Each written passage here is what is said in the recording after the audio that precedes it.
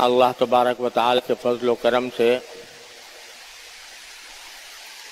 जुल्हिजा का पहला अशरा चल रहा है,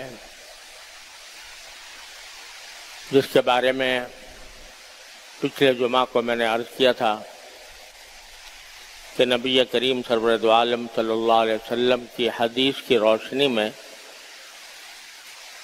ये अयाम ऐसे हैं कि इनमें हर किस्म की इबादत अल्लाह तबारक व ताली को बहुत महबूब है। तो इसके कुछ अयाम गुजर चुके हैं और कुछ बाकी हैं। अल्लाह तबारक व ताली अपने फजल करम से हमें इनकी कदर पहचानने की तोफ़ी अदा फरमाए और उसमें अल्लाह तबारक व ताली अपनी तरफ़ रुजू और इनाबत की सआदत से हमें बहरावर फरमाए। अब जो दिन बाकी हैं,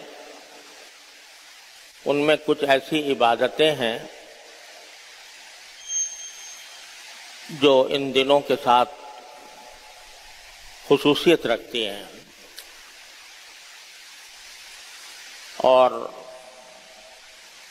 नौ जिलहिजा को, यानी मंगल के दिन, आने वाले मंगल के दिन, उसको यौम अरफा है हमारे लिहाज से, और यौम अरफा का रोज़ा रखना। इसके बारे में नबी करीम सल्लल्लाहु अलैहि वसल्लम ने यह फजीलत बयान फरमाई है। कि जो शख्स योम अरफा का रोज़ा रखे, उसको, उसके एक साल पहले के और एक साल बाद के अल्लाह ताला गुनाह माफ़ फरमा देता है।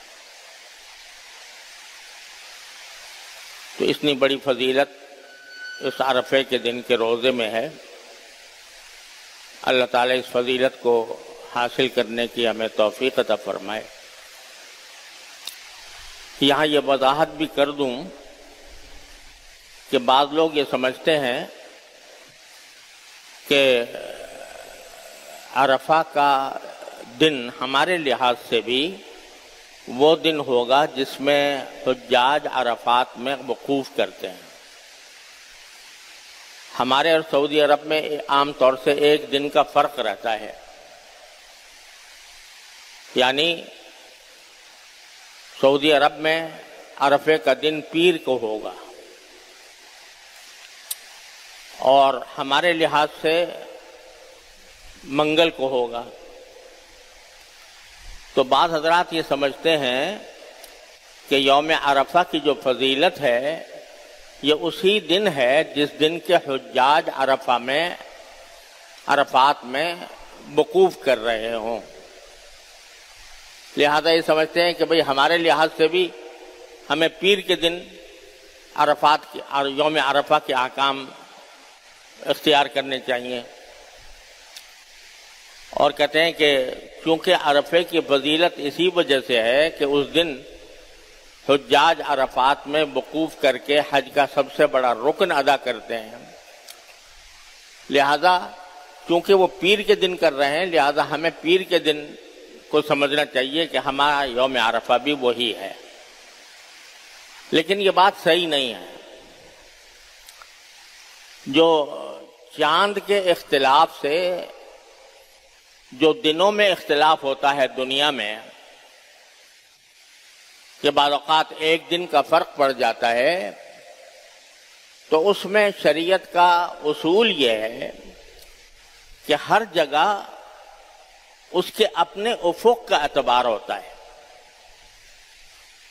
हमारे उफुक के लिहाज से जिस दिन नौ तारीख होगी, उस दिन अरफा का दिन होगा, हमारे लिहाज से।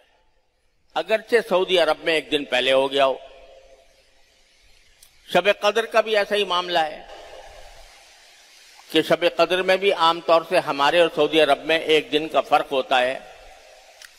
तो बाद लोग ये समझते हैं कि भाई जिस दिन वहाँ शब कदर हो रही है, उसी दिन हम, हमारे यहाँ भी होगी। ये बात गलत है। हमारे यहाँ की शब कदर उसी दिन होगी जो हमारे लिहाज से ताक रात होगी आखिरी अशर रमज़ान की। तो इसलिए हमारे लिहाज से योम अरफा के जो अहकाम हैं, वो मंगल से शुरू होंगे, न कि पीर से। एक बात तो यह है। और योम अरफा में एक हुक्म तो यह है, हुक्म से मेरी मुराद यह कि फजीलत बयान की गई है अरफे के दिन रोजा रखने की कि एक साल पहले और एक साल बाद के गुनाह अल्लाह ताला इससे माफ़ फरमा देते हैं। लेकिन यह भी समझ लेना चाहिए कि जिन जिन अमाल के बारे में अहादीस में यह आया है कि इससे पिछले गुना माफ़ हो जाते हैं उससे मुराद, कबीरा गुनाह नहीं है और हुकूकुल इबाद नहीं है।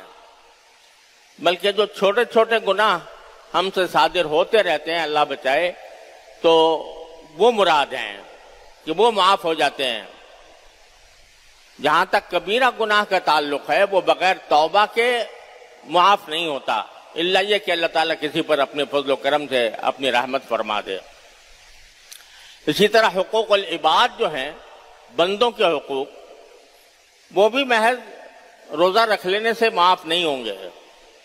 जब तक के साहेब हक को उसका हक न पहुँचाया जाए या उससे माफ़ी ना मांगी जाए।